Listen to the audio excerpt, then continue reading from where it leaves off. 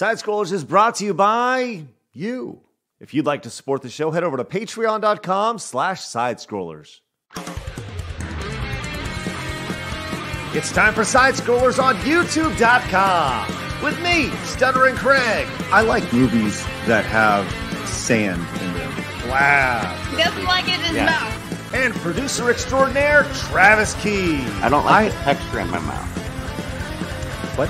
And brought to you by you, the G2 community at patreon.com slash sidescrollers. And now, broadcasting from our homes, it's time for the number one gaming and entertainment podcast on planet Earth.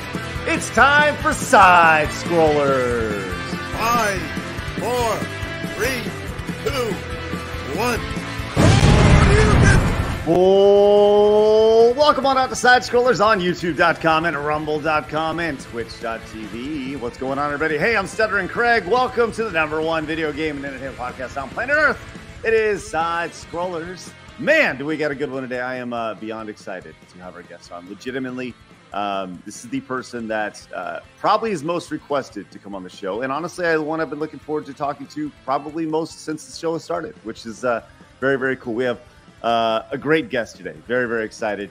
Um, and Blabs and Travis will be uh, joining us from the back end today. Travis is going to be manning the chat, and Blabs will be uh, manning social media. So it's just a good old one on one today as we get going. Uh, so we're going to get right into it. No hard news today, just jumping right into the interview with a uh, man who started his career over on GameFAQs, then moved to IGN and became the big cheese over there, then left uh, to start Kinda Funny with uh, a bunch of chaps over there, then left there to start where he's at now. It's Last Stand Media, and it's Colin Moriarty. Hello, Colin. How are you, buddy?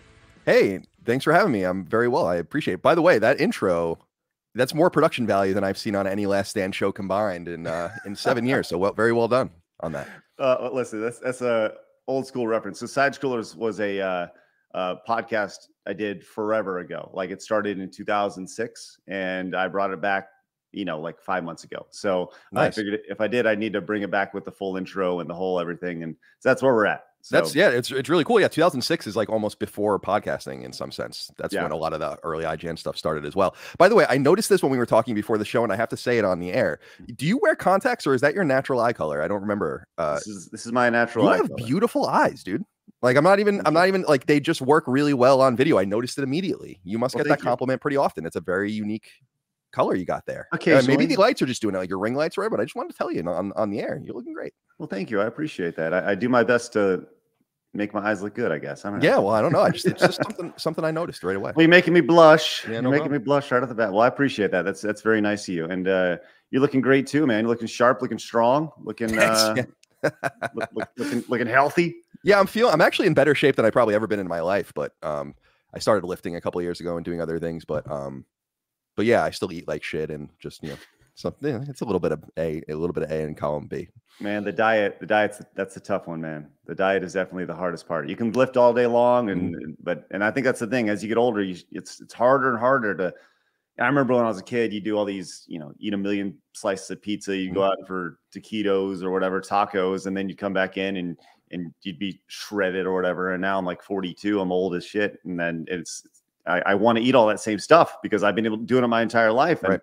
you know, but I can't. So Yeah, there are no consequences when you're younger, which was I, I totally felt the same when I when I worked at IGN early t- early on. I started gaining a lot of weight, and I was like, why am I gaining weight? And then it's like because you're eating the same way you've always eaten, and you need to tamp it down. So actually, I do one meal a day. I only eat between seven thirty and about ten at night every day. So, so, so you do the uh so you do a lot of uh, intermittent fasting. yeah, I intermittent fast for about twenty two hours, twenty one hours a day.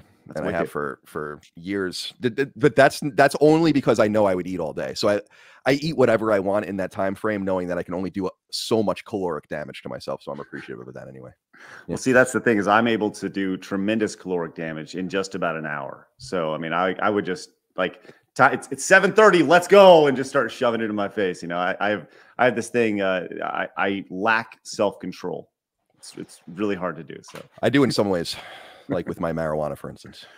Uh, how, how is that? Like, I'm, I'm somebody who's never smoked before. Oh, right? I wow, know- I, know it's I know it's legal for a lot of people Mhm. and uh, you know a lot of places in the, in the world. I've never smoked weed before, right? That's but it's, interesting. Good for well, you. I, I don't know. Is it? I, I Um, mean, some some people say it has great great benefits. Yeah, I'm able to like.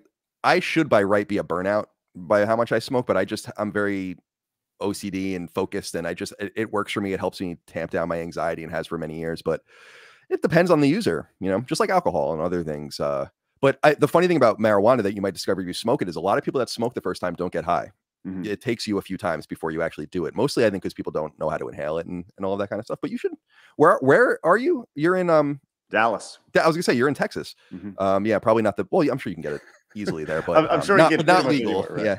Right. Well, so you know, it's funny because I, I I thought that'd be a fun fun stream. Uh, you know, a couple years ago, I was like, that'd be fun to go to like Colorado or something and just do do like the first time Craig gets high stream, right? Uh, but I don't know. It it it is intimidating to me. It scares me. It's it's it's one of those. I can where- understand that. I can understand that. It's not intimidating though once you get get to know it. But uh but I think I personally think it's good to keep as many things out of your body as possible. I, I try to limit my vices to marijuana. I don't drink too much anymore and stuff like that. So and Oh, I've never good. done hard drugs or anything. That's not that's not been my scene. Yeah, I, yeah. Well, while we're on the topic, you ever like got into like the uh what was the big one a few a few months ago? I heard about uh, ayahuasca. Oh, ayahuasca. Yeah, Aaron Rodgers is the one that's Mhm. really been bringing that to the fore. No, I, I've done some psychedelics like mushrooms and stuff, but I've never. I want to do acid, um, and some of these other things. But you really need to do them in controlled environments. But they say it helps you tap into something, you know, parts of your mind and parts of reality. And even if it's not, I, I want. It, they call it a trip for a reason. I'd like to go on that trip, but I, I don't think. uh did you watch Mad Men by chance? Uh, weird reference. No, I but I, I think I know the reference you're getting to. Oh yeah, Roger R- Roger like goes and does acid with a bunch of people, and it's Mm. just like so. And he's older, and they're all younger, and I I, I imagine that's the way I'll probably be in the future because I'm 38 now. So you know, in my 50s, I'll go find some young people and do acid with them. Right, right. I think that's the thing that's interesting about uh, the idea for me is they say you know you tap into this extra part of your brain, and, and part of me goes like, what's the back? What's the what's wrong with that? That sounds like a really good idea, being able to access more of your brain because what, what do they say? We only access a, a small percentage. Yeah, of our, small, like some percentage. Yeah, right, right. So I don't know. It sounds that sounds pretty interesting, but um, yeah, I don't know. What, that's not where I thought we'd start with this conversation, but uh, it- it's interesting. I love it. I love it. So you, uh, you know, we we only got an hour with you, which is which is I'm, I'm very excited to chat with you for an hour. We we've known each other for a while, but we never really uh, hung out or, or talked. I mean, I say we probably, you know, we we saw each other probably last uh, in Austin, maybe for the Rooster Teeth thing, maybe. yeah, we would be down there every so often, and so we'd yeah we'd we'd see you there and at shows. It's been no later than 2017 would probably be the last time I saw you, and probably more like 2016, I would say. Right, like right, right, right. Uh, about the time the internet uh, and uh, the game industry broke, pretty much. About Yeah, I think Donald. I think Donald Trump and just the whole like that whole election cycle, regardless of the outcome, just absolutely broke people's minds. It was it was amazing to actually bear witness to in hindsight. But um, yeah, it was right in that summer. I think probably was around the last time. Right. Um, we uh I kind of want to go through your career a little bit. And and while going through your career, I wanted to kind of highlight some things that you've said about your career. And okay. and I, I think Side Scrollers is a uh Side Scrollers is just getting started, but Side Scrollers is a show that's built around common sense. I feel like there's not a whole lot of common sense used in the gaming space today. Uh, as somebody who has, you know, been in the gaming space for you know since 2006, right? And I left for a short time, and I came back, and when I came back, it was like I looked at the space and I was like, it was like just absolute burning, right? It's just like this place is insane. It's it was insane when I left, but it's even more insane now, right? Um, I uh, I was going through a lot of your interviews that that you've done um, Yeah. recently, and uh, and I I wanted to kind of pull up some quotes that you had that you had said, and um, we were talking specifically about um, uh, diversity in the gaming space, and uh, this was a reference that you had. You were actually talking with uh, David Jaffe, Oh, and and uh, you know David Jaffe's become a, a regular guest on the uh, on your on your shows. yeah, oddly, we become like person good personal friends, which is which is strange. You know, I, I've always I've known him for many years, but um, like we become friends, like boys, which is which is you know you never think you, when you're I was you know Right. young playing Twisted Metal or God of War that you'd be David Jaffe's friend, but yeah, there it is. Well, it, it, I mean, it's pretty cool, right? But yeah, it's awesome. What's interesting about it, uh, I mean, it's not interesting, but it's interesting today because that that you guys are, you don't align with, uh, you know, you're not parallel in everything in your life, and you have differences, and Mm-hmm. people today see that as insane, right? How can you talk to this person? How can you talk to Colin? How can you talk to David? Whatever. Um, but I wanted to kind of kind of key po- key on uh, a comment that you made. I thought it was really fascinating and a really good comparison that you made, uh, and kind of dig into this a little bit more.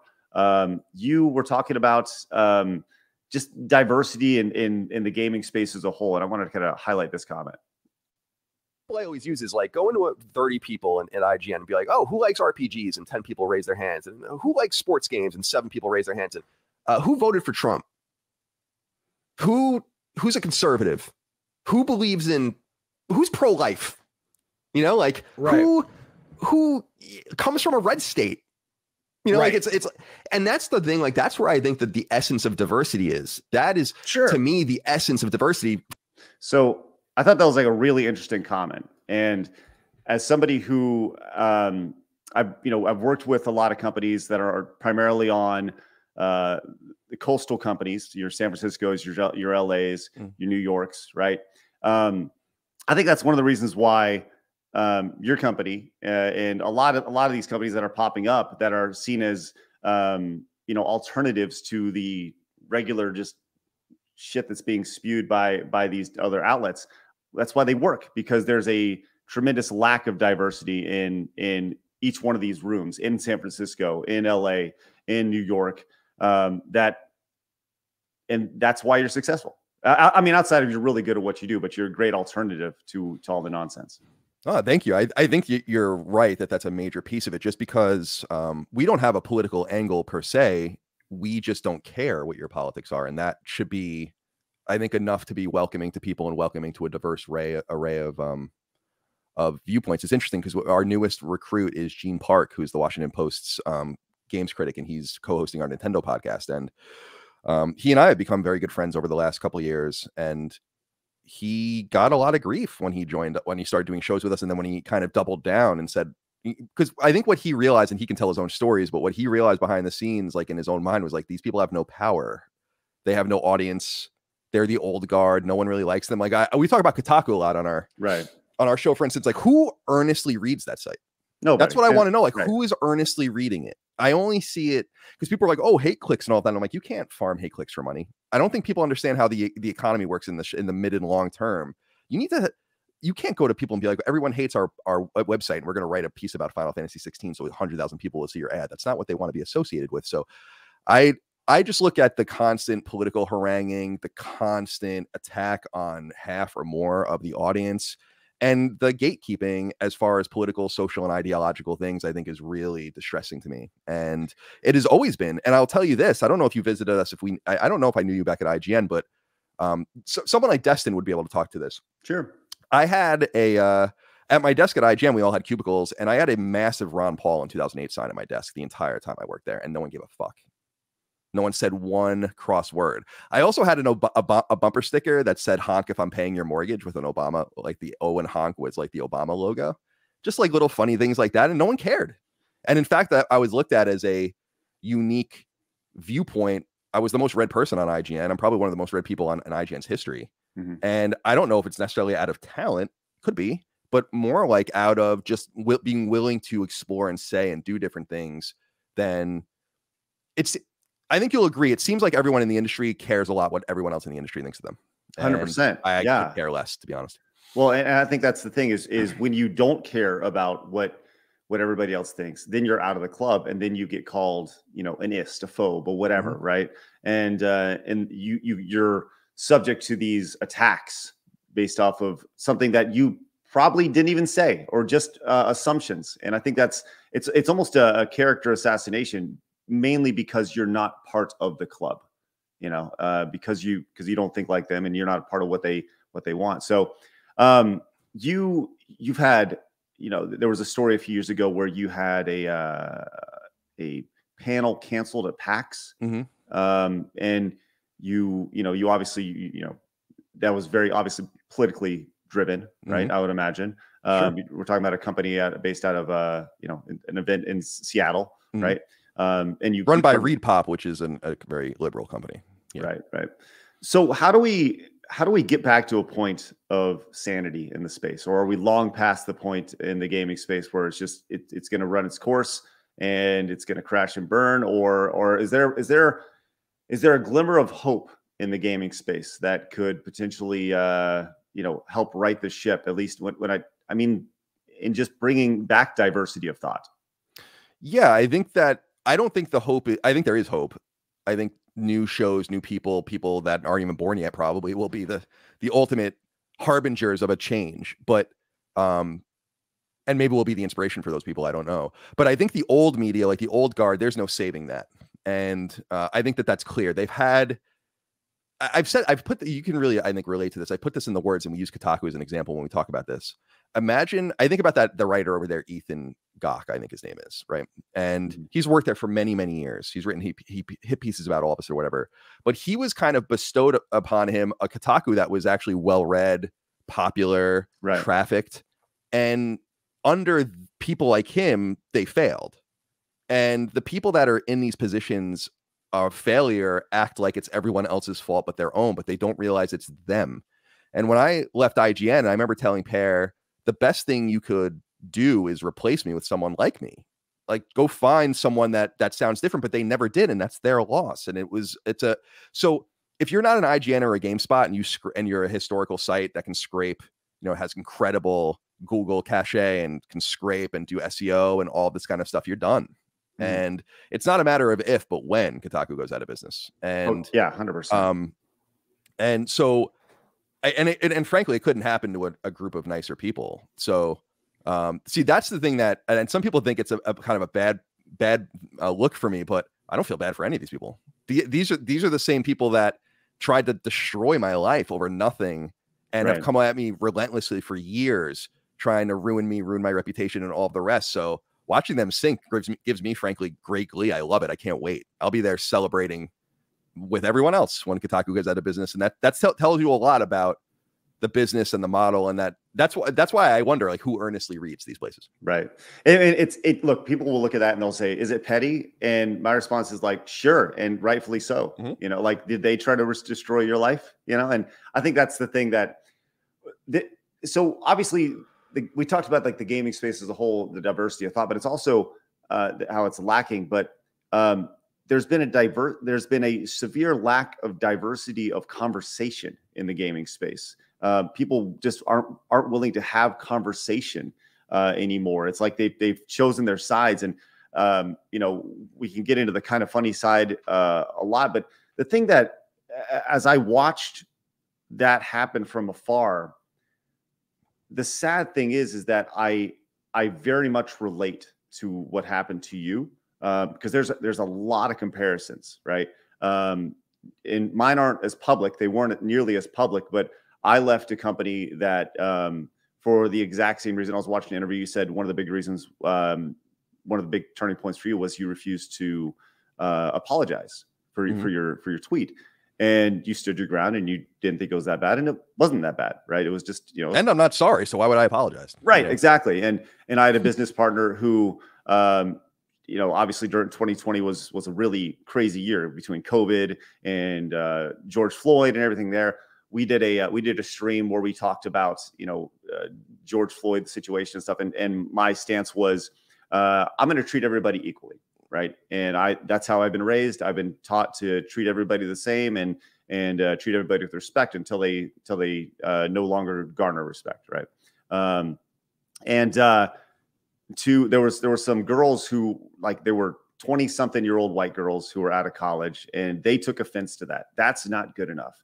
So they went to uh, my business partner at the time is like, he needs to apologize, you know, and they did the the white savior thing where it's like he needs to apologize to everybody because that's not good enough. And I was like, apologize for what, you know? And that ultimately, my inability or my uh, because I didn't want to apologize for that. That is why I left that company, right? And uh, when I heard that, I was like, oh shit, that's like, you know, that's like the exact same thing, you know.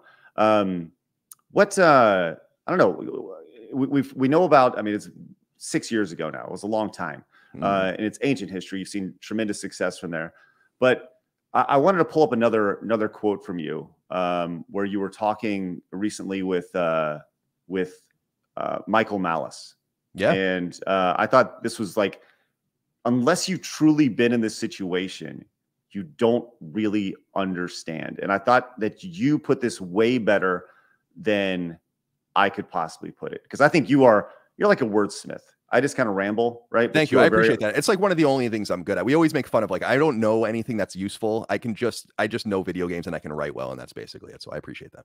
Thank You're very articulate in how you speak, and I, I just kind of mumble out a bunch of words. But you said this very well, and I, I, I, I just wanted to say this was phenomenal, and I may be the only one who gets anything out of this, but I appreciated this. When I saw a therapist after it all happened, Okay, good. One of the things I said was it you kind of can't help but take it really personally that no one gives a shit. Like no one out there who knew you, worked with you, even lived with you, shared a cubicle with you, traveled with you, is being like, whoa, whoa, whoa, racist? Like wh- what? What? Did, so that kind of that silence allows things to become quote unquote real. And I think that's one of the things that bothers me most most about talking about cancellation is everyone's always like, "Oh, it doesn't matter. It's this isn't really happening." And I'm like, What? "It matters to the person who it happened to." Right.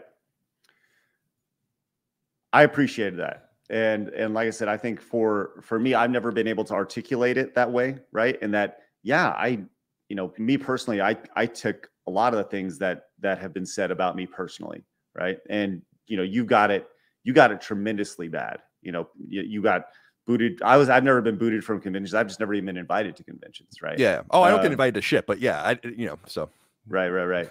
um, you've you've talked about how you've reached out to to the Kinda Funny folks, eh, you know, just out of the idea of you needed to get it off your chest. Uh, what was the response there? Well, yeah, I mean, so really the only I, I've actually talked to Nick and Kevin at various times. So, um, when I sold my shares to Kinda Funny, they they they paid me four times. They owed me four big bursts of money, and it was like right away, and then at the end of that year, the end of the next year, and the end of the year after that. And I basically was making like my salary plus whatever fifty percent for those years or something to buy out, and it was awesome. I mean, I was really grateful for that but that required me to keep in touch with Nick to like, you know, because Nick is like kind of the administrator of the business. Um, so we would keep in touch every once in a while, and then I would text him once in a while, or they would reach. He would reach out to me once in a while if someone thought of something. I talked to Kevin behind the scenes every once in a while, but Greg is the one that you know. Greg and I were were very very close, and in in hindsight, it's kind of a shame that we. And I don't mean this as any in any disrespect to the others who are you know, but it, we really should have just done it by ourselves. And You mean you, mean you leaving Kinda Funny with Greg? Right. And no, no, me leaving IGN Oh, to okay. make Kinda Funny with, sorry, I should be clear with with Sure. Greg. Like, and when other people became involved in it, it quickly lost what I thought it was going to be. So that it, like, what Last Stand is now is kind of what I would have had assumed that we would have done with Kinda Funny. And so, um, but I respect that the, the course that they've taken, and I have tried to keep in touch with Greg over the years, like when his dog died, who I you know I lived with Greg for almost a decade, so I I basically lived with his dog. Mhm. Um, but he didn't get back to me on that, and I emailed him a, like uh, I saw Podcast Beyond, which is our old show at IGN, just did I think their 800th or 700th episode or something like that, and I, e- I emailed him a joke being like, "How does this show still shambling on? It's like incredible. We left at like 315 or something." But he didn't answer that, and it's it's pretty clear that he doesn't want anything to do with me. But I was encouraged, and I'm not going to like continue to try, but I was encouraged by my actually a therapist that I was seeing. It's like you gotta you gotta like let go of the anger and try to just be normal, and at least you know put out there that you want to bury the hatchet and all that. And you can't really do anything if a person wants to reciprocate or not. And I understand his position. I think because it wasn't intentional, but I really hurt Kinda Funny when I left, and I know I know that in hindsight that I did, and and I don't I don't know that they've they seem to have kind of just stayed flat Mhm. and um, I feel bad about that. That was not my intention. My intention was to leave so that they can do what they wanted because it was clear that what I wanted to do and what they wanted to do were different. well, maybe but, they uh, have, and it just hasn't worked. Yeah, I think I don't know how it all works to be honest from the outside. Um, like our, my Patreon is substantially bigger than Kinda Funny has ever done on Patreon. Right. and we have far lower overhead than them and we don't have a space we don't have all these things so i don't really know quite how it works. I think that's part of what really bothered me about working there though was the constant endemic advertising which we don't do on Last Stand we refuse all money from games companies um, and as people know that listen to sacred symbols we don't do pr contact at all. We don't get games early. We don't do anything like that. We don't do go to events. We don't let people pay us for any of that stuff. We only do non-endemic advertising. Um, and then the constant like hosting and doing all these kinds of things to bring money and, and revenue in. Um, it seems like the I don't really understand the economics of it, but I, I don't, you know, I don't know the, co- the, co- the company's ins and outs anymore. It just doesn't seem the the aesthetic doesn't seem to match the numbers, and I don't think the aesthetic is necessary. That's Right. that was kind of the biggest thing. I loved working out of my spare bedroom in San Francisco. I ho- I wish we always just stayed there. Mhm. Um, Well, so you know, yeah, so you you said something, and, and I don't want to uh, I don't want to floss by this because I don't I don't want to uh, misinterpret your words. You said you you felt like it should have been just you and Greg to do it by yourself, and then when other people got got involved. When you say other people, are you speaking of Nick and Tim? yeah. Although I don't want to. It sounds like I'm insulting them, and I'm really not. I I actually think that Nick, in particular, played a very important role early on as our as like our filmer and our producer, um, and I appreciate all of that. But yeah, it felt like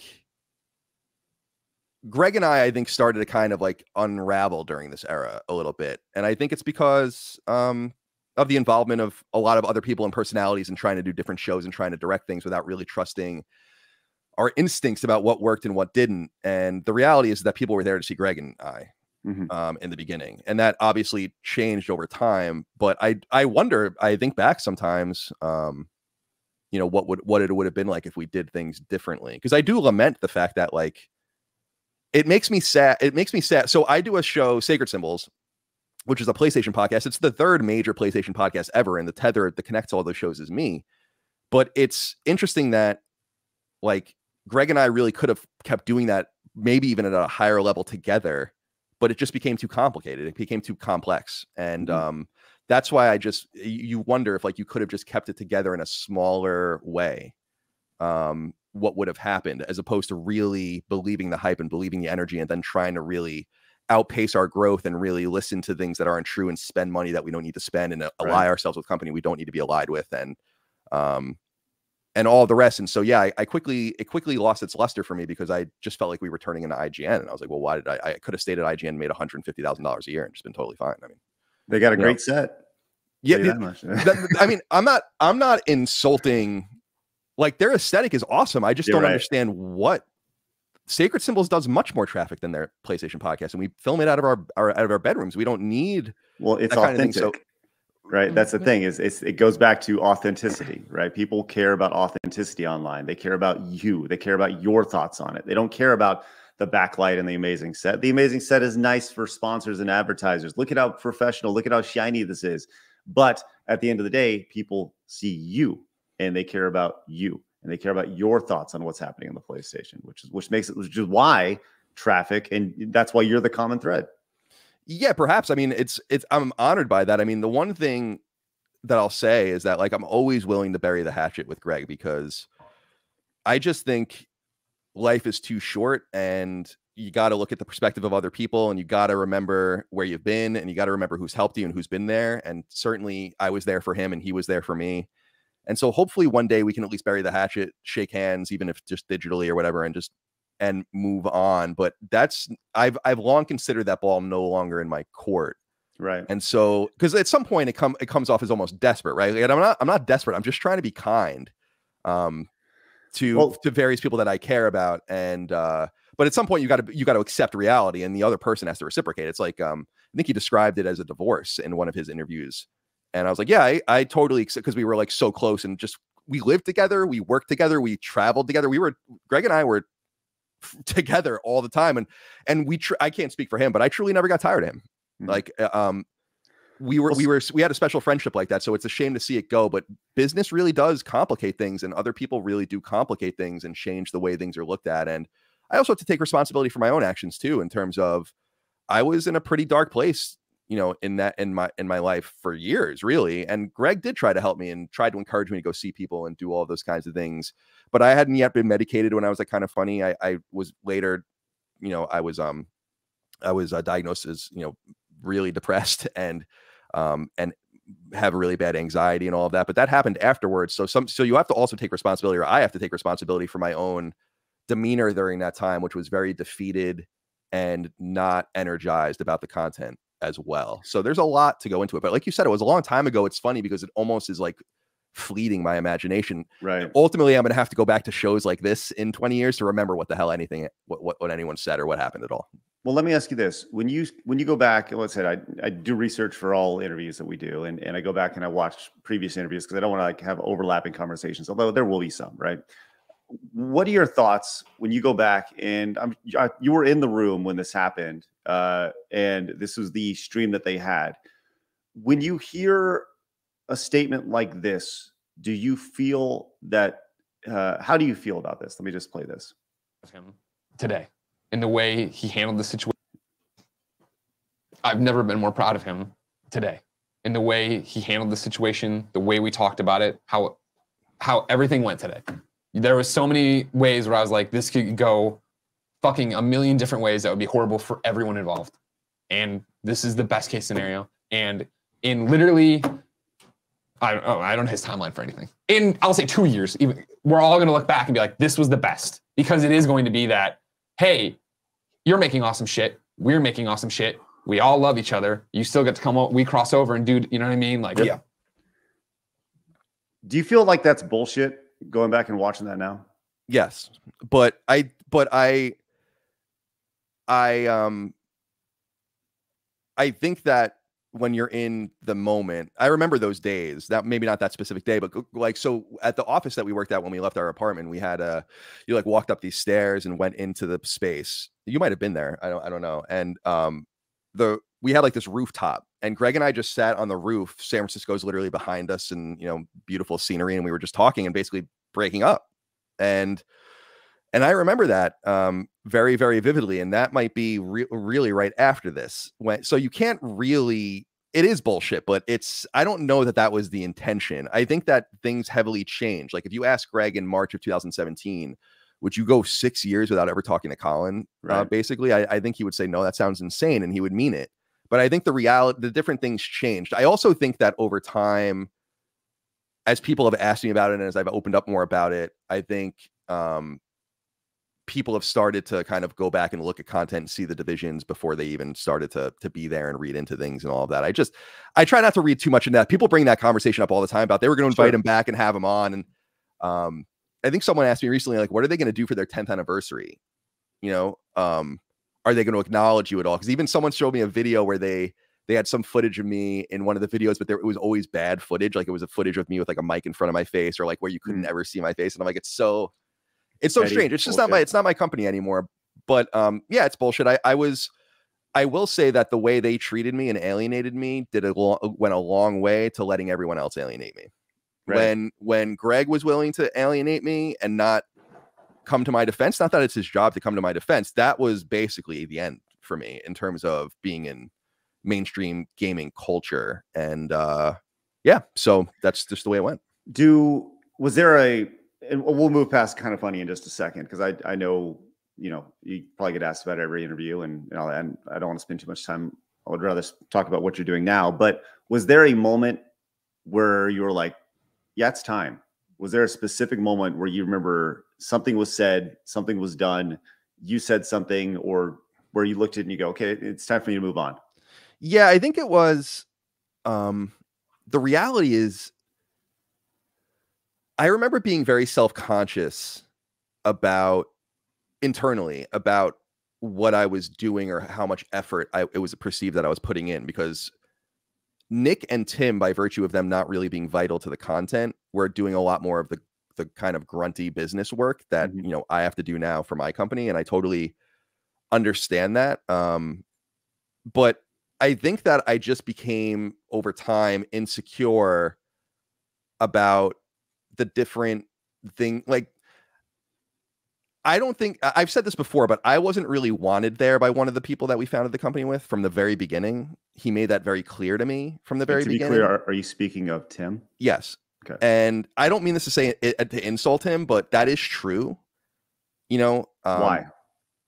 Well, as I said in the in the beginning, when we agreed to leave IGN, he told me that I shouldn't come and that I make Greg unhappy and all this. And I remember it was in one of the, the, the meeting rooms at IGN. I was really mad. Then I went to Greg and tried to, and he was the one who really turned me around. I'm like, I'll just give my my shares back because we just incorporated, and I'm like, I'll just stay, take my massive raise, that they're going to give me because I'm threatening to leave, and then and you guys can go. And he he kind of talked me out of that, and so we went along. clear- so Yeah. just to be clear, the friend that you've had for a long time, hmm you, you're you're going to leave with this. Mm-hmm. Another guy comes in who is also a friend, Mhm. right at the time, but not nearly as good a friend.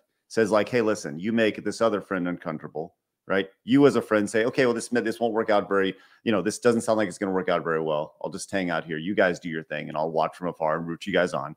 And uh, that's where that's where it was until Greg convinced you back. Yeah, this all happened like in one day, like in meeting rooms. Right. You know, I think I think even one of our conversations happened in like the the cage where we would keep all of our equipment, and um, and his argument was just, yeah, I don't think he ever really liked me, and that's fine. But I think his argument was like, you know, Greg seems to just be unhappy with you, or like that, like Greg's unhappy with something about like s- it just really set it really. And I know, I damn well know that Greg must remember that conversation because it really hurt me. In fact, I think I was crying, as I Mhm. remember. Um, Well, yeah, I mean, not, like, rightfully so. Yeah, it's, it's pretty fucked. I mean, it's a fucked up conversation. I mean, and then I- but but there's more right because like then you kind of go in with that that that feeling of like i'm not good enough someone doesn't want me to be here and then you're kind of a- micro like analyzing everything about what you do are you doing enough are you going to get fucking called out and voted out or whatever and i just think at the time i didn't realize like how vital i was to the operation and that i had nothing to worry about that like there was i was being but but there were other things that were told like he later floated to me the idea of me taking less money than everyone else. You know, um, Tim or Greg? No, Tim. Tim. And that would that happened in the new office. That like my pay should reflect like the amount of work or the amount of time or whatever effort or care I put into things. And when I would try to create new things, like I wanted to create a political show on the side and do all these other things, like they wanted, they really wanted all of it. You know, they and wanted that was a piece of that and- too.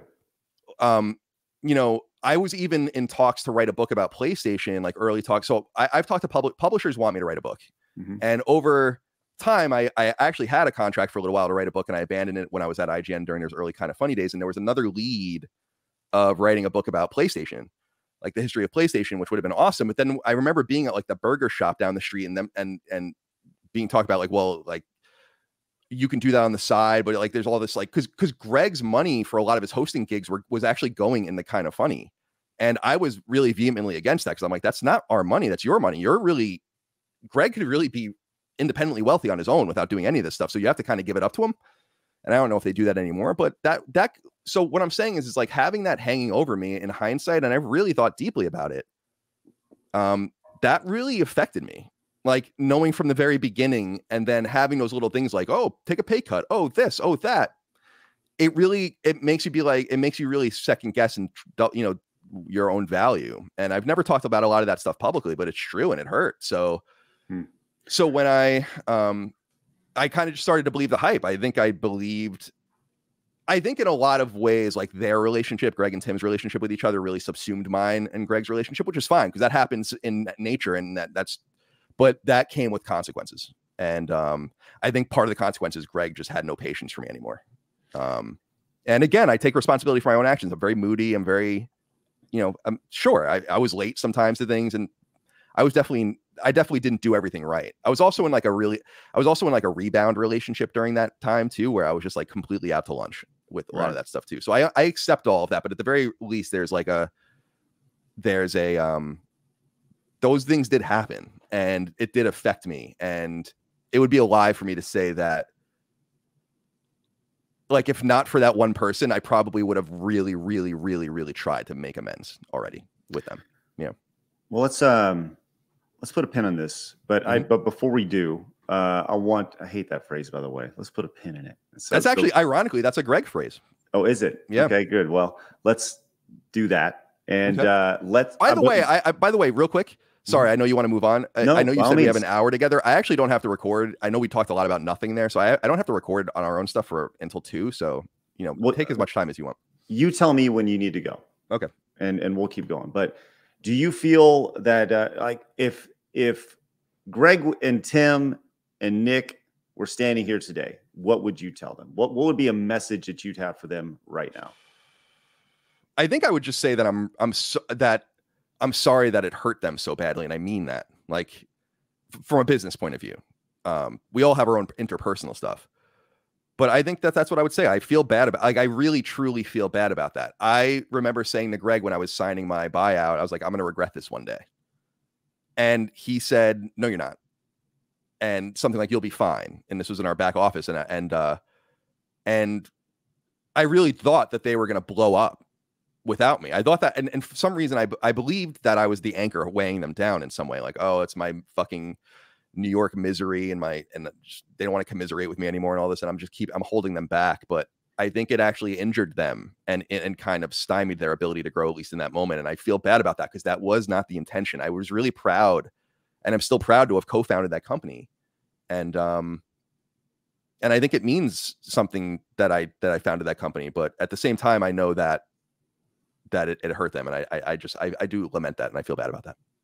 How much of um how much do you feel your political leanings and Tim's political leanings drove a wedge into into that company? Um, I don't think the politics. Uh, Tim's not a political person, so I, I don't think that it had any. Maybe he is now, but he wasn't. I mean, he, um, that's he's not like a social, political, historical. That's like he's not an academic dude. He's mm-hmm. he's into like you know pop culture, and he's deeply knowledgeable about brands, right. and he's deeply knowledgeable about movies and all those kinds of things. So I don't think it had anything to do with that. I just think he didn't really. I mean, in hindsight, I guess he just didn't really like me, and I think that also part of it was probably for care of the star of the show, which is like what is what makes this person happiest and best and most content. Um, and yeah, and I think that that was. But I think that there was also, from my feeling, I also think there was a need to like kind of. I, it came across to me as jealousy sometimes that Greg and I were a thing, right? right? And it, and um, like I remember when when Greg and Tim hosted the Final Fantasy 15 reveal event, that was actually ho- offered to Greg and me first. Um, and I was like, I'm not comfortable doing that. I don't want to work for these companies. And that's when Greg and Tim did that. And I think that that was the beginning of them realizing their own power together, which is great. But the re- reality was, I wasn't jealous of that. I wanted them to have their own friendship and their own reality too. I just, um, I think that there was some there was some heat around that too. But I don't know. I mean, it's it's all conjecture because I really have no idea what the fuck anyone truly feels. Well, I, I think that um, you know, as, as, pointed out in the chat, uh, there was a uh, reference to a, a, tweet that was put out by uh, I believe it was Tim and Andy, who said like, if if you vote, you know, a certain way, we really don't want you watching our stuff, right? And that that to me doesn't scream inclusive. It doesn't scream best community ever, you know. And I think it just it, it's also weird because they don't know anything about that stuff. I know them. I mean, unless unless something ra- has radically changed they're completely ignorant on politics. So that that makes it even stupider. But I agree. Like I want to be um I want to I want to be inclusive because it's smart business, but it's also because of who I am. You know, I, and maybe it's the difference between growing up in a place like San Francisco and growing up in a place like Long Island, which is really moderately conservative, kind of kind of moderate Trump country. And um, I want to get along with people. I don't want to isolate or alienate myself, but people based on who they vote for for president or what their politics are. I don't care. I really don't care unless you're like a communist or something or like a fascist. Right. But I really think that those we have what 335 million people in the United States. I would mm-hmm. honest to God say that there are probably literally the type of people we're really talking about that are like the vile people, maybe a couple hundred thousand, like at the most. So like it's I just want to get along with people. I don't care. I don't want to I, and I want to know people. And it, it doesn't make any, it doesn't make any sense to me, you know. Well, no, I mean, you're I 100% agree with you, right? And it's what's amazing is you know once again the the similarities between I, I feel like I'm talking to myself in this conversation at certain points because there are so many things the idea of being shunned I you know literally zero people from my ScrewAttack days uh, want to be associated with me uh, not based off anything that I've said it's things that I haven't said right it's it's I haven't you know put a put a black fist in my avatar on on uh, you know on Twitter or you know th- things like that, right? Uh, I haven't you know put it put the right hashtag. I don't have Twitter. I don't have uh, pronouns in my bio, right? And my thought process is very simple. Like you just do you, and I'll do me. And as long as you don't tell me how I should live, then all is good, right? And I won't tell you how you should live. You know, it's really simple, right? The most basic shit. And also, you and I are lucky enough to live in places where there's zero. I mean, I, I, I talked about this on a recent podcast where like the tent cities and all that. I live in Central Virginia, and uh, it's like you would put a tent up on the side of the road and it would be there about three and a half seconds mm-hmm. before like they they like there's just no tolerance for bullshit. And that's its own thing. But treating people with care and respect, having a multipolar world where you can have all sorts of ideas, even fuse those ideas into better ideas. I mean, God forbid. Um, but people, it people blows people's minds. My my audience is totally immune to this, but uh, some people that were listening to something I was on recently, it came up where it's like, would you vote for Biden or Trump? And I'm like, I'd vote for neither of them. If I had to vote for one or the other, I'd vote for Trump. Uh, but I don't. But I don't have to vote for either of them. I'm not going to. I didn't vote last time in 2020, and that surprised some people. And I'm like, too bad. I guess you know, like open your minds a little bit. Um, but I think also you and I come from a position where we don't have to play a game anymore. And I, I I'm always appreciative of my audience for that. Like the the level of success that Last Stand has afforded me is well beyond what I ever expected. And it means that I truly can say and do whatever I want because not only does the audience, the growing audience want that, but there's no canceling me because I have no connections to I I, I have no access. As you said, I my PAX panel was canceled. Um, none of the publishers want to work with us anyway. No, no one wants to be our friends anyway. So we've just we've managed to do it on our own, and I'm proud of that. Do you think that's because of obviously, you know, there's this this uh, I say obviously, and I, I hesitate that because you know, if you were to in the industry, it's it's as big as it seems, it's still a very small industry, right? There's mm-hmm. everybody knows everybody in the industry. The PR person here worked for this company seven years ago, and they know everybody over there, and blah blah blah blah blah, right? Um, and uh, people are so quick to throw out these terms, you know, racist, you know, whatever, you know, whatever. And um, do you think the idea that they don't want to work with you because they don't want to be attached to that, even though it, what whether it's true or not?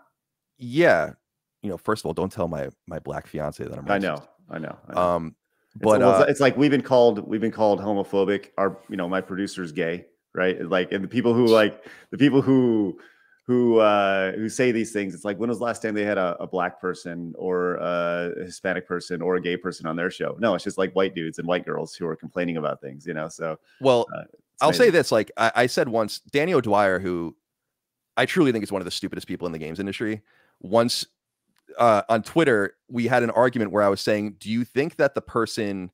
Do you think diversity would be the black person that grew up next to me on Long Island or the white person from Ireland coming and living in America? And he was like and, and, in other words to say like you are the outsider compared to the white and black person that lived in the united states that it's not you know skin deep or whatever. And he had a complete meltdown about those those very things. It's um it's it's hysterical to me that these people are so rigid and yet also so backwards. A lot of the things they believe are misogynist. A lot of the things they believe are racist. A lot of the things that it's like it's insanity. And um so you said it there's a small community of people in the industry. Their power is waning, right? Like they hold. I just I won't even say any names in the PR people. I don't want to bring them heat, but right. it's like they hold their their access codes over you like it matters, right? You know, or they they'll they, like I don't want access to your fucking games. I don't care. You have no power over me. And when your audience affords that and understands why you're circumventing that, I think that it becomes less relevant what your politics are and more relevant what your intent is, which is to just make great content for your audience. And it makes them look stupid. It makes them look political. Um, and so I, I just, to me, I, I look at it and I think, who cares? Like, why, why is this even coming up? Why does it matter what I believe if we're talking about video games and podcasting and doing all these things? I think a lot of it comes from a fact the fact that a lot of these people don't really like video games, don't want to be in the video game industry, and are trying to create for themselves a political brand of journalism that they actually are chasing. And this is kind of where they're stuck. What are your uh man, this is brought up in the chat. and I just want to yeah, this is I was like, oh shit, yeah. You know, we talk about people in the industry who have just been broken, right? And uh Adam Sessler is one who who is brought up Oh, you have issues with him. I, I yeah, he, he hates Adam Sessler hates me, um, which is funny because the last time I saw Adam Sessler, it was at an event for a deep silver for Homefront: The Revolution. So this was probably in 2015 or 2016. Gave me a big hug, had all sorts of nice things to say to me. But the set the second everything go, actually he came into my session to say hello to me. I remember that so well, and uh, but that's, what's, that's the down, most amazing thing. I'm sorry to cut That's the most yeah. amazing thing about it is that these like uh, so many people, so many people um, the last time I spoke to them, they're like, "Hey, it's great to see you. Hugs all around. Oh, you know, uh, you know, whatever. Let's go to dinner. Let's hang out." We do that, and then the next time I hear from, the guy's a, you know, he's he's a fascist. he's he's he's a he's a white supremacist racist, and it's like, what? You just gave me a hug two years ago. Like, what what what has changed between now and then? And uh, it, My it just it's it's amazing. my favorite arc with Adam Sessler is that he pretended that he made fuck you money on this small investment that he had with this company that got sold to Reddit. And I'm like, you can continue to believe that that that fiction as much as you want, Adam. Like you would love to still be taken seriously in games. It's just that you're not, and that again is your own fault. He melted down completely. Um, Oh, and did. I don't know. It's sad to see like social media. This is why I stopped posting except for promotionally on social media because Mhm. I look back sometimes. I mean, this is one of the many reasons is that kind of sound fucking crazy sometimes. Like everyone does, you know, it's better to just not share these thoughts at all. And so I just, I just don't, I just let, I just live the Schadenfreude life and just let everyone else have their problems. But I don't understand why he would want to so voluntarily crater his life or his career is not his life, his career to the point where he just pretends that he doesn't like games, never liked them, was taking advantage of people and putting on a show and all of that. And I'm like, I don't think so, Adam, but I don't know why you are pretending that that is the case. Like you're above it all now. Um, and really kind of getting hook, line, and sinker into like the whole gamers are bad. And I don't know. He he's a he's a chucklehead. That guy's weird, man. I never, never, uh, never heard anybody described as a chucklehead, but I love it. I love it, love it. Um, okay, so here's the, here's the big question, Yeah. right? We are, like I said, what's the mo- what's most fascinating thing about this is the last six, seven years, people have been broken, right? Whether it was the election, whether it was COVID, whether it was whatever, right? People have been broken the last few years, and we have another election cycle coming up. People who have never been political have become political. People who don't know shit about politics all of a sudden want to be, you know, want to tell you all their po- political leanings, right? What happens in 2024 if Trump wins? Mm-hmm. What happens to the game industry? What happens to like do people just dig in further or like wh- what's what's the I don't know. Give me a crystal ball. We're two I don't think it's going to be good. I don't think it's going to be good at all. Um, you have to think about like if Trump ran, if Trump won, God, man, I don't even know how things are going to go because you kind of feel this energy that the Democrats are trying to slowly show Biden the door, get Mhm. someone in at the last minute, like maybe a Gavin Newsom. I think they realize that Kamala Harris is not going to happen. So, um, so I think it's going to depend a lot about who he runs against as well. And I also think it- it's going to matter if Trump keeps getting indicted. It doesn't seem like it matters. It actually seems like it helps him. I keep talking about the possibility of a really big suicide vest third party candidate that literally is just designed to blow the shit up. And you know, a little bit like like Ross Perot with a little bit of panache, maybe getting to 25 points instead of 20, starting to win some states and all of that. But um RFK? I like RFK. I just think that he's too marginalized. Like it's too, the marginalization of him has been too successful.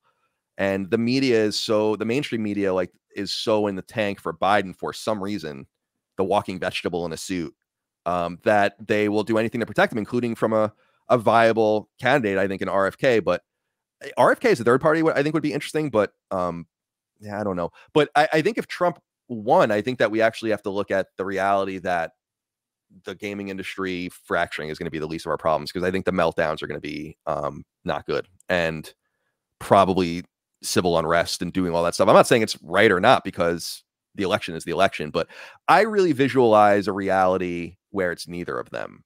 But I don't know. We're running out of time, um, and I don't know how that's going to work out. So we'll see. I, I just I couldn't, in good conscience, vote for Biden because I really don't think he's all there, and I, I, I earnestly mean that. I, I think it's obvious, and uh, but I wouldn't vote for if in a, in a true open field. I wouldn't vote for Trump either out of principle because I don't think he's really fit for the office. So I would probably either just not vote again, or hopefully, like I said, there'll be a a third party candidate wearing a suicide vest willing to blow this shit up. Do you know anything about the election of 1876? Are you a history guy by chance? Uh, I don't know anything about the election of 1876, but I'm ready to learn. That was uh Rutherford B. Hayes beat beat Tilden, and Tilden actually won the the popular vote, and there was like some consternation about who was going to become president based on the the fracturing of the electoral votes and um, they had the compromise of 1876 which ended reconstruction and all of that but the house of representatives really ended up choosing rutherford b. Hayes as the president and i think our best hope is to replicate that to get to a position where no one gets 270 electoral votes and so constitutionally the house of representatives has to pick a candidate and the house would hopefully pick because they can pick anyone. At, at that point you don't, you're not constrained to who ran or who you can pick anyone you want as long as they're constitutionally eligible and maybe that would be the hope to get someone you know sane in there like some sort of like angel on the clouds coming down to save the republic but you know short of that i think we're actually in a lot of trouble Do you? I mean, you know, you obviously you're you're a history buff. You know a lot about politics. You ever thought about running?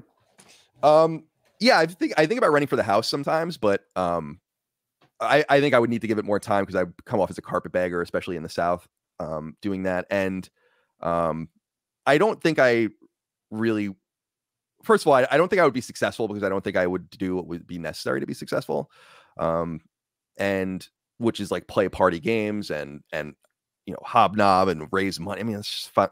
People make fun of Ron DeSantis because he doesn't like to hobnob and raise money, and I'm like, I don't fucking want to. I wouldn't want to do that shit either. But that's the unfortunately the game you have to play. So I don't think I have the mechanics to become a candidate in the United States for office. But I think about it sometimes. I just I don't think that that's the best use of my abilities personally. I think the best use of my abilities is just speaking to a microphone and um and talk.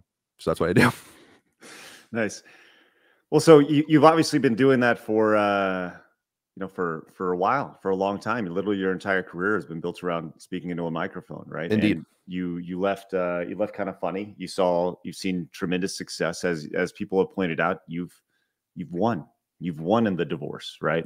Uh, you have Last Stand Media, and it obviously blew up, and it's allowed you to go from uh, you know uh, a podcast to now what is four? Uh, uh, is it four podcasts you have? yeah, God, I don't even know. It's like yeah, Sacred Symbols defining Duke, punching up is our new one for Nintendo. Mhm. And then we have knockback and constellation. So I guess that would be five. Plus Five.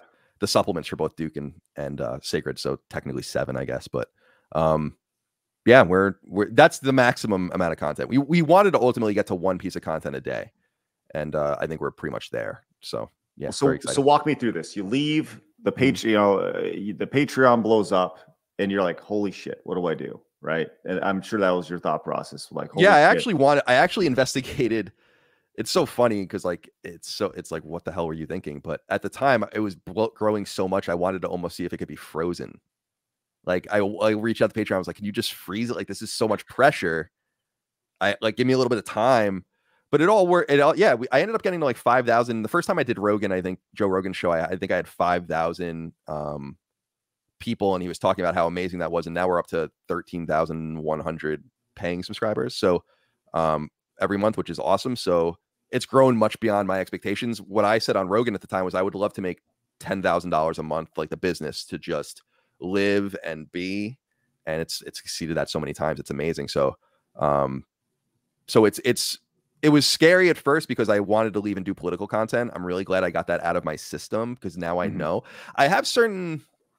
I don't want to change anything in life, but I think you'll you'll agree that there are certain kind of branches in life, and I didn't take one path, and I'm curious what would have happened. So one of them is that like I, I left grad school and never you know never finished my history education, and I wanted to be a professor and all of that, and I've always been curious what would have happened, although I'll never revisit that path. But I was actually able to kind of revisit it by trying to be a political commentator, and um, I just found it to be kind of horrifying, to be honest. It was uh, not what I expected. I people uh, one day I'll, t- I'll say who it was, but I got a job offer almost immediately from a major political outlet um, for like three hundred thousand dollars a year to go do shit for them, and I'm like, I just don't want to do partisan politics. Like I just.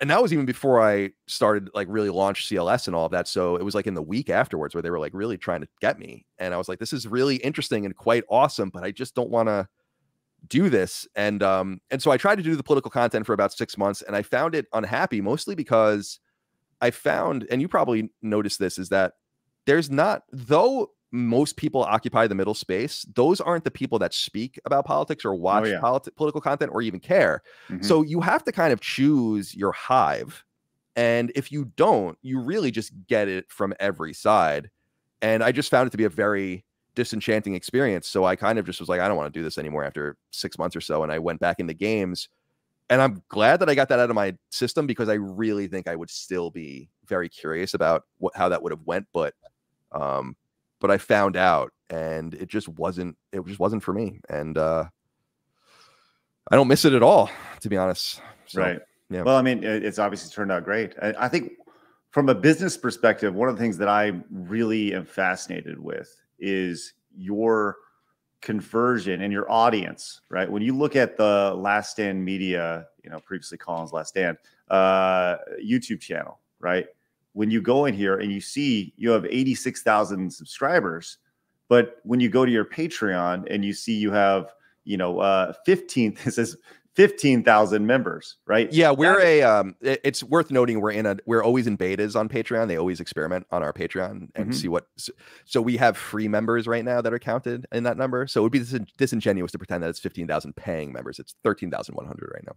Well, Yeah. that's still a ridiculous conversion of your audience over. Like, what do you think contributes to that that relationship that the audience has?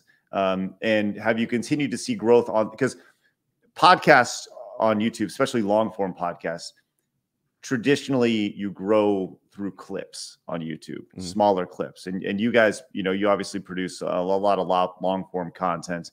Uh, and as you know, just a quick glance through your uh, the the uh, the channel itself on YouTube, you know, there's not a whole lot of uh, smaller clips that you guys have. no, no, everything's like hours long. right, right, right. Um, So- we so actually how- experimented with a clips channel, but it's just not doing very well.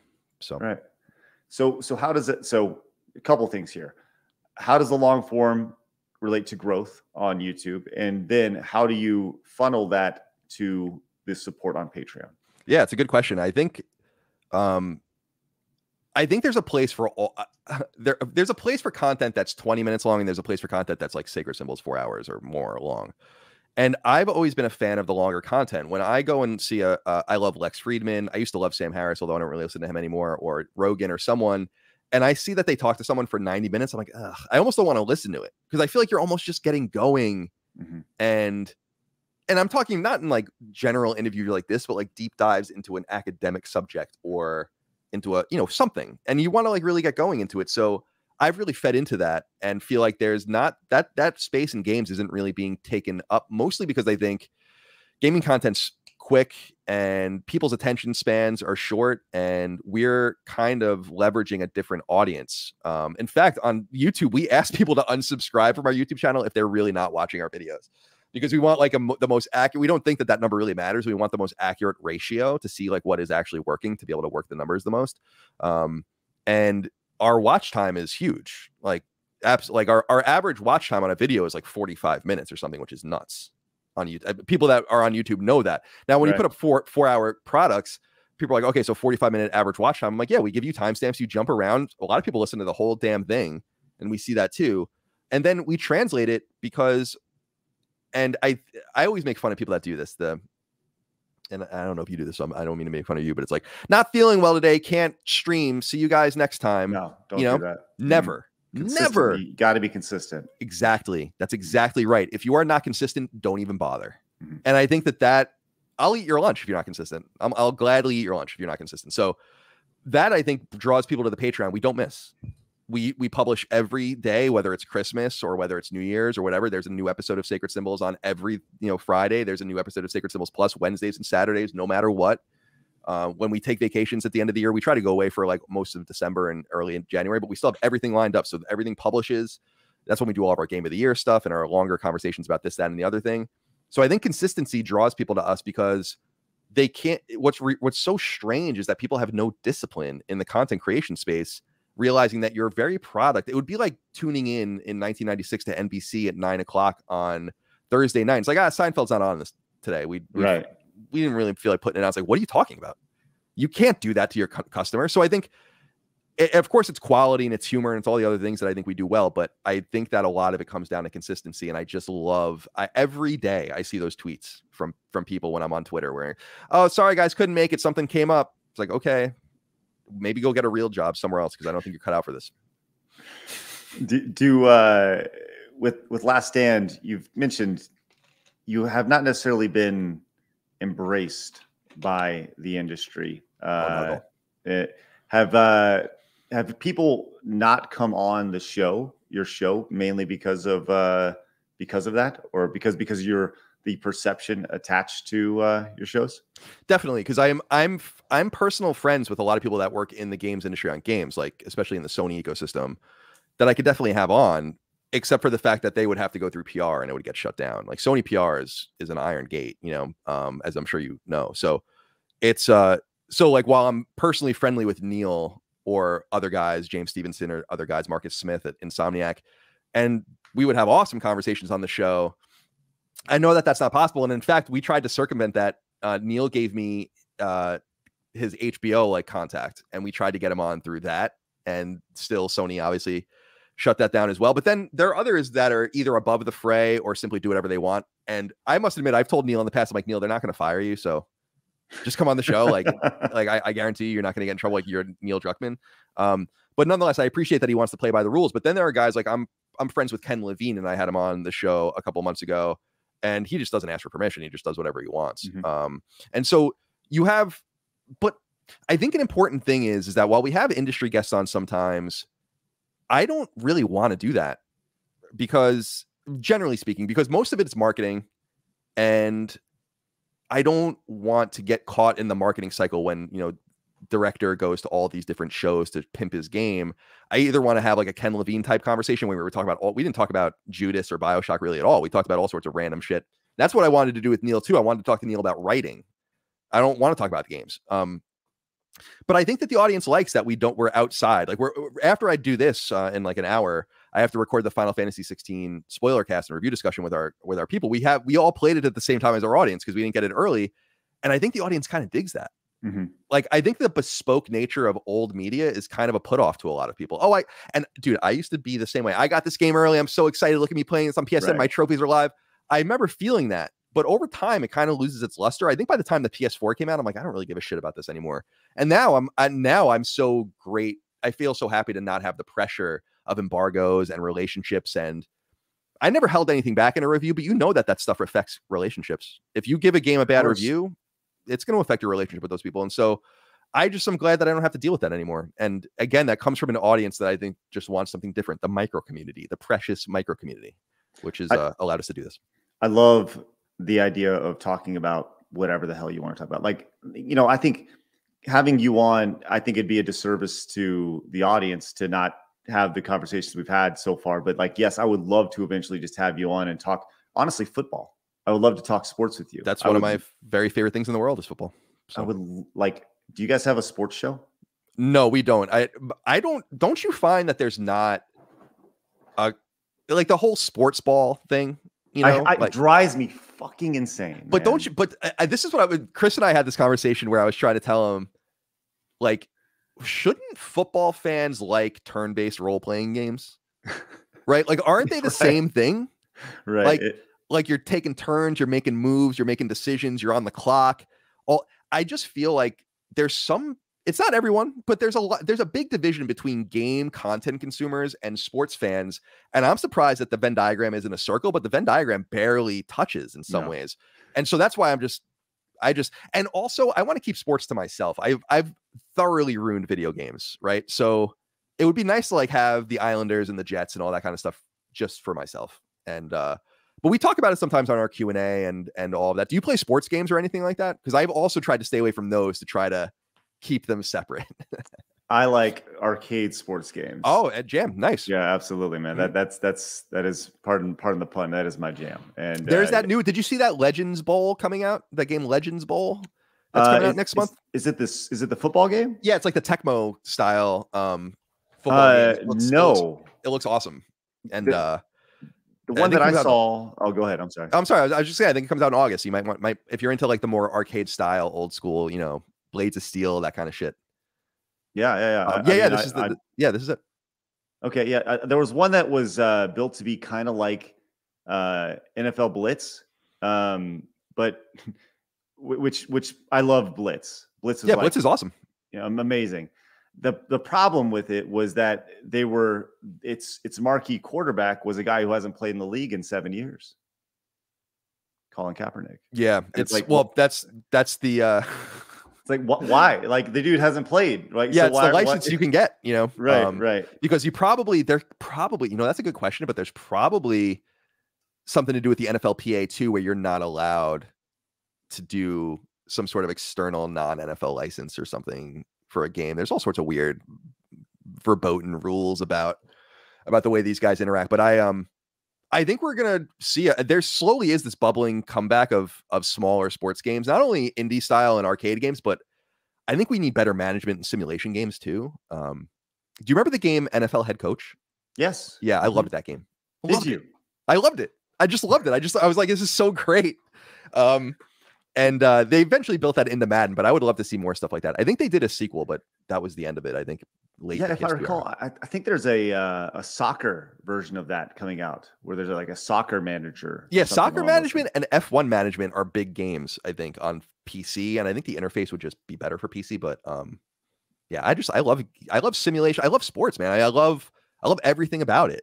You know, um, and it frustrates me that more game gamers aren't more sports fans because um, I They're- I, think they're I think they're closet fans, right? Like it's one of those things where there's this like you hear the sports bull and it's like it's not cool. You're either a gamer or you're a sports guy, and it's so stupid. It's like that there's there is tremendous crossover. There people play games and they play and they play sports. They like watching sports. But the the turn-based RPG side, like that's actually a really interesting analogy of um of, of baseball and football are turn-based games. Yeah. you know um that i think would be if you just looked at it like that but I, have always been both you probably can't see it in my shop but i have my varsity letter from high school on on the shelf the b right there Let's go. so i was i was both you know you- and i've always been i've always been both um What, was your sport? hockey Yeah. uh, yeah Wow, Um, awesome. Did you were like obviously you say you're an Islanders fan, right? Yep. Uh let's let's do let's do a quick quick sports talk real quick. sure okay Okay. All right. So uh the I, I thought the Golden Knights this year were just so far ahead of everybody. I thought I thought Florida got hot going into the playoffs. They rode their hot goalie. The worst thing that happened to them was they took a week off and their goalie cooled off, and then all of a sudden they got steamrolled in the in this in the finals. there's something about hot goaltending that's and I was a goalie. Um, there is something about like hot goaltending that's that's real. It's so interesting, especially in the playoffs. You just get in a mode. I was sad about. I mean, I um, I thought the Panthers were a feel good story, but my fiance is a huge Bruins fan, so I was I was sad for her. Um, the Islanders obviously um, probably really shouldn't have been there at all. But the bigger thing that annoys me about the success and variables of the Kraken and obviously much more the Golden Knights is just how and you'll I think appreciate this like you used to have to earn your you like expansion teams in the NHL used to be fucking Horrible. horrible. Like. I remember when the Senators came in, I think they won something like 8 games that first year. Like you're supposed to be bad and I think that the the expansion draft rules were just too good. Um, they like the fact that the Golden Knights immediately got like a Stanley Cup winning goaltender, all these different things. Like it's not Right. supposed to work like that. And so I know that they had to keep the rules the same for Vegas and Seattle because people were complaining about Vegas and the NHL was saying we have agreed to keep the rules the same. But hopefully, if they expand again, they will narrow that down again because I think it was kind of lame to see these teams immediately in the playoffs, immediately in the cup, immediately with it's like what?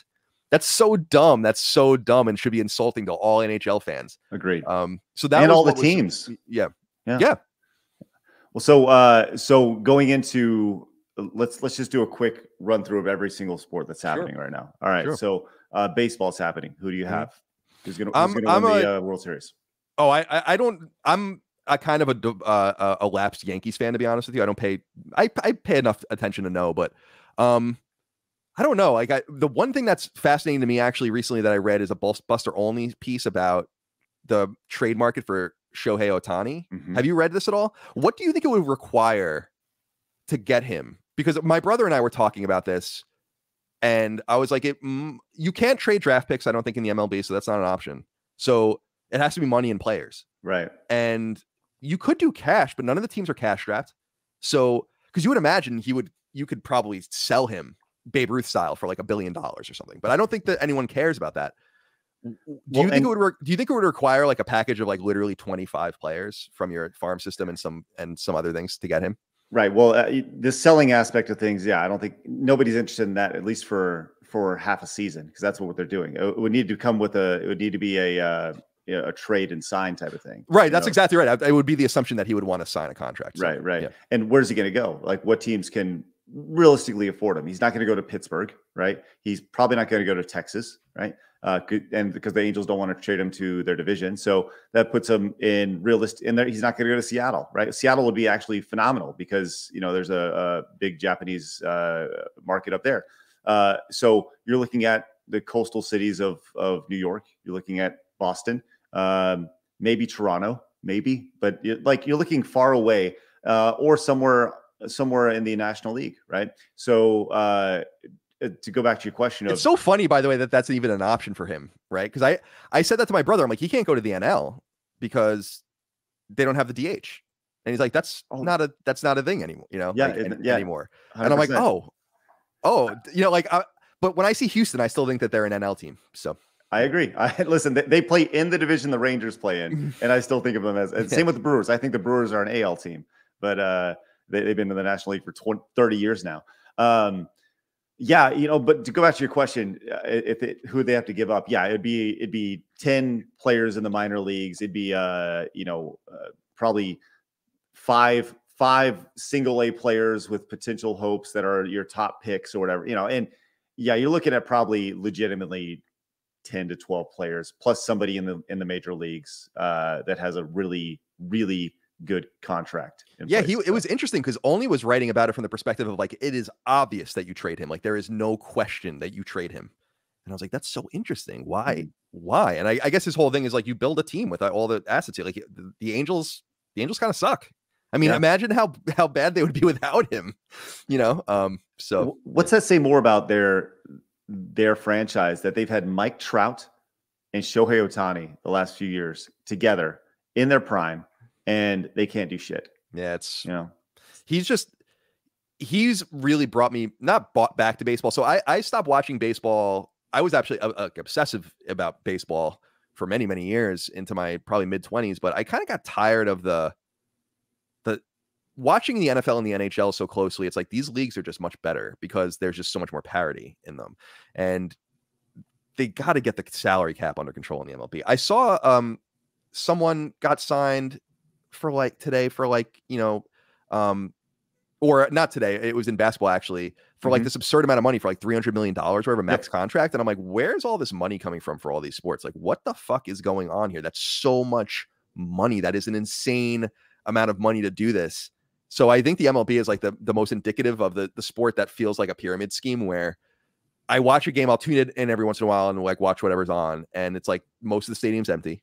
Mhm. you look at the ratings and you're like the ratings are down and the guys just keep getting paid all this money i'm like i guess it works somehow but to me it just it became less exciting i also needed time off from sports you know like uh i'm really really into football and really really into hockey so that really dominates especially football just dominates my life and this year is going to be awesome i think but um You're Jets, right? I yeah mean, jets fan yeah Come on, you Um, got you got Rodgers. That's a dude i am through the m- my uh, nephew declan who's going to be a senior in high school he gives me credit for this because he's like you spoke this into into reality. He's like during and i didn't remember this. I was I, I- apparently during the playoffs i was at his house for one of the games and he's i was talking about how the jets should get aaron Rodgers and all this stuff and then he slowly started reading about it and it started happening. I was like wow i really did wish this into existence. But i actually my Rodgers jersey should come today. I or i just ordered one and um man am i amped. I can't wait. I'm wait, but we I was joking around with my fiance. They're going to be on Hard Knocks this year, and I'm like, I can't wait to watch Week Three Hard Knocks when Rodgers tears his ACL.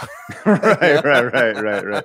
Well, he's saying all the right things right now about how this this it wouldn't wouldn't be it wouldn't be a service to the Jets if I only played one season. And Yeah. I'm sure as a Jets fan that gets you you know gets your boner going pretty good. Dude, I'm, I'm Uh, amped up about. I'm also amped because it seemed obvious that he was going to play more than one season based on what we gave up for him. I think that that would have been a real dick move for him to play one year, or at least intend to play one year with us giving up two picks like that. You know, two prime picks. So back back to Rodgers though, man, and now he's your quarterback, man.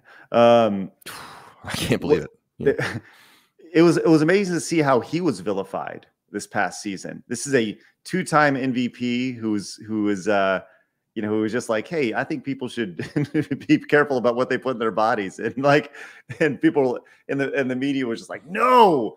It'll be interesting to see how how that stacks up in New York of all places. Yeah, I um, I think he'll be fine, and I think that he's he's got in the.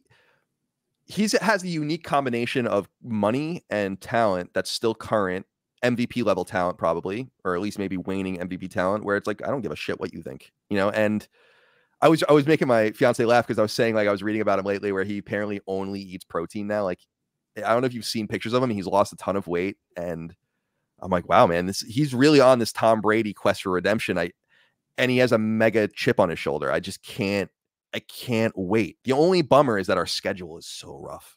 It's very, very rough. But Who are you playing this year? uh, well, we have the Bills twice, obviously, which is fine. But we play the we play the AFC West, um, and uh, so we have the Chiefs, and we have all these other. The first, uh, I'll actually pull this up for you. I mean, so I don't, I don't want to misspeak. Uh, Jets NFL schedule. The first, first um six games are rough, rough, rough, rough. Yeah. So here it is. It'll be Bills, and then at Cowboys, Patriots, Chiefs, Broncos, Eagles. Bye. Man, I'll tell you what. You're right. Rodgers, he looks skinny. Yeah, he he apparently has shed weight for mobility, which I think will be good. But I think our offensive line's pretty good too, so I think he'll be okay. But I'm yeah, I mean, I can't him to to Garrett Wilson. I I I just he keeps saying Garrett maybe maybe he's gassing him up, but he keeps saying Garrett Wilson has that that Davante Adams energy, and I'm like, if that's true, and he obviously was the rookie offensive rookie of the year. If that's true, then you know maybe I. This is the thing. Who, who are you a fan of? You're in Dallas, right? Are you a Cowboys fan? So people always say this. They go say, "Who you know? You're in Dallas. You got to be a Cowboys fan." I I don't really have a team, but I say that I I just like watching football. Um, but when the Cowboys win, Dallas is a better city. Hmm. So I hope the Cowboys win. Yeah, I, I mean, I, I like my uncle is a huge Cowboys fan, and I like the the Cowboys. I think that they're they're fun to watch and always interesting. Jerry Jones is an interesting, um, interesting character, but um, I do wonder. I ask you that just because one of the conversations in Jets fandom right now is like, we don't know how to win. We have no idea how to win, and I'm not saying even the Super Bowl. Like, we don't know how to win anything. So we're we haven't made the playoffs since 2010, even. So we are very used to losing and it's almost comical. What happened last year was comical, where we were six and three and seven and four and all this, and then we just wa- wash out. And uh, so we're all waiting for the bad thing to happen, and uh, we all don't know how to feel right now. And it's because this is the best Jets team on paper ever. I mean, I think a lot of people are saying like the like ever, and that's interesting. I'll say this. I think that winning starts from the top, right? And I, I don't think it starts with the general manager or the president. I think it starts with your quarterback. And I think that if you have a winning quarterback that has one, uh, that that will trickle down to everybody else in the organization, right? And now there are instances you talk about the Cowboys; they haven't done anything in literally a quarter century, Mhm. right? They they've been a very mediocre franchise for a long time with overhyped expectations. Um, now, I do think that starts from the top. And you've seen the Cowboys over the last few years. They've seen they've had success, but it's because they've pulled back on on Jerry Jones. Apparently, that's that's all the that's that's been the uh, common story here is that Jones has uh, transferred his power, or they pulled back from his power that he had from being a general manager, and now that's uh, passed on to other people who are making those decisions, which is why they've seen success in drafting and and uh, and free agency and and uh, developing players. So. Um, but yeah, I, I think the Jets will be be just fine. But yeah, if they can get through that first first few games, and, and there'll be obviously be hurdles. You know, uh, Rodgers probably won't play any any free any uh, preseason games, and he'll go in and treat his first game like it's his first. You know, and he, he may throw a pick or two because the guy runs runs a wrong route or whatever it may be. But just don't panic. You know, it'll be great. Be great. And we all know that in a few years he'll play for uh, the Vikings anyways, just like Brett Favre. Yeah, that would be that would be an interesting arc. Yeah, this feels so much better than the Favre situation. The Favre situation never felt right because he came in during training camp and it was like during his third retirement dalliance with the Right. Packers and all this stuff. I, I I do think the way the Packers treated Rodgers, or at least the way he can see perceives that, is a huge advantage for the Jets. Um, and because he just, I know he wants to win again, and I know Rodgers is an all-time great. Obviously, we all know that. He's some some people consider him the greatest quarterback ever, just raw quarterback ever. But he, I know it bothers him. He's only won once, and I hope that that helps Sure. drive him to to to win again. But um, I don't know. We'll see. It's I'm counting down the days. It's like so close. You know, they're in camp now, and everything's getting together. So, and Hard Knocks is going to make it even more heightened. And the last time the Jets were on Hard Knocks was the last time they made the playoffs. So hopefully that's a good. That was a Rex Ryan team, and so hopefully that's a um a good sign of things to come. But having a legitimate quarterback is so weird because the Jets teams in my life that have been good have all been good defense. Like when we went to the championship game in 2009 and 2010, both of those years, it was our defense because Sanchez was our quarterback at that time. Right. So Uh, With, with the butt fumble. the- but that was that was two, that was Thanksgiving 2012, and I'll never forget it. no one will ever forget the greatness of the butt fumble. That I, that led like Sports Center with the top ten, not top ten. I think they had to retire it at some point. It was just, I mean, when you watch that, you see what was happening and you see why he ran into the guy's butt. But at the same time, he was, he was, he was it's just funny, you know. It's outstanding. It's the perfect name too. Like butt fumble is just a great name. That he fumbled was part of it too. So yeah. right, right, right. Um, do, do you have a basketball team? Um, I passively root for the Nets, but I don't consider myself an NBA fan. Oh. Um, really at all. I like basketball a lot, but I just again, it's it's on at the the wrong time. You know. Oh, the, that's that's that. I don't. I'm the kind of guy that like wonders why we're even doing. Um. Well, anyway, never, never mind. What were you? What were you going to say? well, so I was, I was gonna, I was asking, like, is it is it the politics why why you're not a big fan of the NBA if you like basketball? Or, No, it, it's just there. uh, First of all, I think basketball as a game is really great. I, I love playing it, and it is fun to watch. Like playoff basketball is really fun to watch. But I feel like uh, my uh, um, Micah was rolling her eyes at me when I was saying this. I'm like, I just feel like everyone's traveling all the time. Like when I'm watching that, when I'm watching, like everyone's walking like four or five steps. Like what is going on in the sport? And college basketball is called much tighter than that in my experience. But so I don't know what's going on with that, which really bothers me. And then, um, so there's that. The politics doesn't bother me, to be honest with you. And I'm, I'm I have American history tattoos on my arms. I'm a, I'm a patriot, but I'm kind of the kind of guy that's like, why are we even saying the Pledge of Allegiance at these games? Can we just play a game?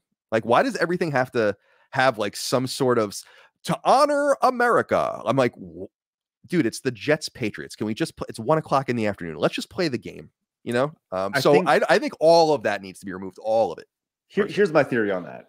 I think that at some point somebody wanted wanted to play it uh, for whatever reason, right? There was something that happened, and it's like, hey, we're going to sing this, and they want their uh, every event to sound to feel bigger than it actually is. So, you know, with the Super Bowl, you're going to play it because it's a large event. Well, naturally, if the Super Bowl is going to do it, then we want to do it in the playoff games. Well, if the playoff games are going to do it, then we're going to do it in the regular season games, right? And if the regular season game is going to do it, we need to do it in the preseason games. And uh, and I think that was there was just a trickle down effect.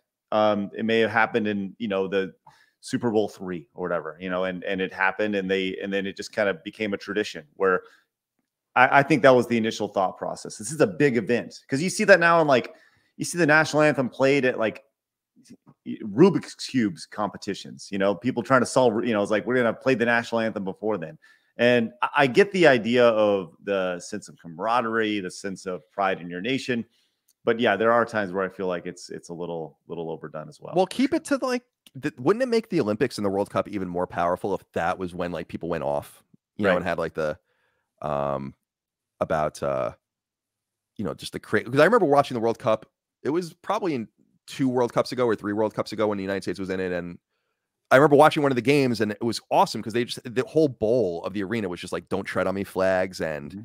all the like American Revolutionary flags and all the signage and stuff. I'm like, this is dope you know but this would be like totally out of place at an nfl game and rightfully so like when i go to an islanders game and they play the flames i'm sitting there for the fucking canadian national anthem like what are we what Right. are we doing you know so i'm i'm just always of the mind like let's just get let's get going Well, speaking of it going, I know you have uh, another thing to shoot here in about. yeah 30 i probably so should I, I actually go but it was it was wanna- fun yeah. to talk to you Yeah, for sure. I I don't want to like you know uh, take you too much time, but uh, I'll read super chats in a minute. But thank you, man, for coming on. Like uh, it's, I love talking to you. I feel like uh, it's been a long time coming, and uh, I'm legitimately proud of what you've been able to be, uh, what you've been able to do, and uh, um, you know your your ability to be who you are. I think is the biggest thing. You know, you, you've been able to stay who you stay who you are as opposed to uh, bend to uh, the games industry, which is great. So congratulations on that.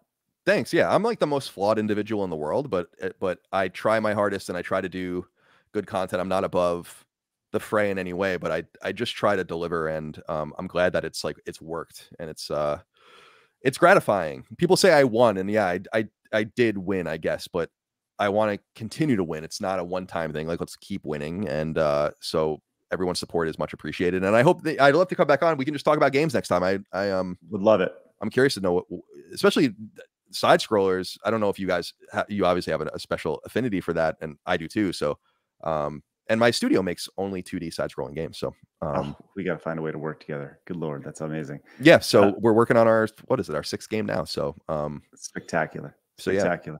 Well, uh, everyone go over and subscribe, obviously, to uh, Last Stand Media over on YouTube. You can also support them over at uh, patreon.com slash Last Stand Media. Colin, I appreciate you, man. Like, uh, what a stud. And uh, way to, you know, just continued success for you, man. I'm, I'm proud of you. Thank you. Likewise, I appreciate you. Thank you for reaching out. Um, have a great rest of your week. Do I just X out of this thing now? Is You just? X out, man, and, and I'll, Wow, I'll take so care of that. Yeah, isn't it great? All right, buddy. All right, take it All easy. right, my friend. Be well. Thanks again. right. Bye bye. All right, there he goes. Uh, awesome show. Uh, I love chatting with with really smart people, and um, you know, Colin is he- mainly because I'm not smart. So Colin gets to lift us all up. So I want to read off some of these super chats here uh, in just a minute, and, uh, and let, us kind of go. Uh, Mark came in. Mark, who once again was interviewed by Colin uh, very early on in the Last Stand Media empire, says uh, the term for users like Colin is red eye Jedi. Thank you, Mark. Appreciate that. Kyle came in says, uh, is this the Colin that says beyond? He says beyond his PlayStation codes. Greg Miller, I think. I think. Shout out, bro. Uh, my childhood. Thank you, Kyle. Appreciate that. Uh, Desiree, what came in? Desiree, great to see you. Said uh, tribalism within politics is alive and well, even if you don't don't uh, know really anything at all. Desiree, speak the truth. Desiree, great to see you. Looking forward to having you on very very soon. Uh, Couch Entertainments says, Craig, put on the ribbon. If you know, you know. That's from Seinfeld back in the day. Put on the ribbon. Uh, Chris came in and says, my favorite, my, my sports game fandom died when NCAA football di- did. Uh, I think I think they're bringing it back, aren't they? Bringing it back. Um, so yeah, uh, dude came in over on Rumble with the five dollar Rumble rant. Dude says uh, Jaffe doesn't understand good game design. Called Metroid Dread a bad game just because he had to shoot shoot a wall to move forward uh, like all other Metroid games, and what was explained in the tutorial. Thank you, dude. Appreciate that. Uh, he also came back, came back and says, It's too bad uh, the Libertarian Party isn't treated fairly. We would be better off if it was given a chance by more people. Would love to see Trump versus David, uh, Trump versus David Smith debate. I don't really know who uh, David Smith is, but thank you very much. And dude came back and says, It's hard to it's hard to care about sports ball when you don't pay for cable and they bombard you uh, with telling you that you're a bad person for not liking them. Very true. And uh, Chris came in and says, Sports chat reminded me of the old One Up podcast, uh, the sports anomaly. There's, I think there's podcast gold to be minded with a regular sports game podcast. Ah, Chris, thank you very much. Uh, that'd be fun. That'd be really, really fun. Um, I, you guys know I love sports. I love sports. Not a huge fan of like sports games, uh, but I, but I understand the fascination with them for sure. Hi, uh, that was awesome. Uh, I I really enjoyed that conversation. Like I said, he's a super smart dude. Makes me feel smarter. Um, it's great, man. But either way, uh, I appreciate you guys popping in. Thanks to Blabs and thanks to Trav for holding it down on the back end. Trav keeping an eye on the chat, which you know you guys have been super civil today, which is great. Uh, and uh, Blabs for head handling up on social media. We'll get back to our regularly scheduled program tomorrow with side scrollers, and then coming up in about 30 minutes from now, 45 minutes. I'm playing Yoshi's Island. Um, look, this game has broke me, broke me in the worst possible way. Um, I need you guys to show up today. Um, this is, I'm literally doing the exact same thing I did yesterday because I'm an idiot and I uh, chose to load a save point instead of save a new save save point. It was horrible, horrible point. Either way, um, it was bad. So I look forward to seeing you guys in about 45 minutes uh, over on Rumble and on YouTube and on Twitter and on Twitch. I'll be live pretty much everywhere. Uh, look forward to seeing you guys then. Thanks so much for popping in. Remember, people are going to try to keep you down. Don't let them. You guys got a goal. Go get it. I'll see you guys.